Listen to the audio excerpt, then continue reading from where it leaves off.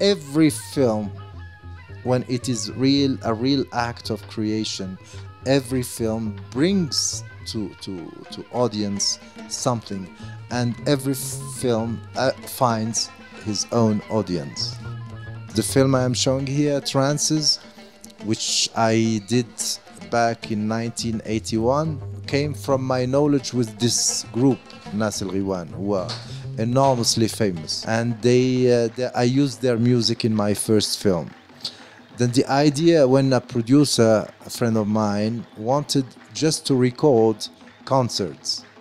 And I came up with the idea to make something more ambitious to make to make their real the roots of their music the uh, the importance of uh, their own destiny coming from a poor neighborhood in Casablanca and becoming the emblem of uh, the youth urge for freedom for for a better life.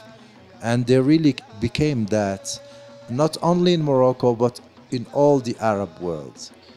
The act of creation of music is something which was completely foreign to me. I was just a listener, you know. When I started working with this group and following them in many concerts and writing, etc., all my observations when I was building up the story, I noticed that they have plenty of where they can just put their hand and pour uh, this this flow of uh, inspiration, flow of music.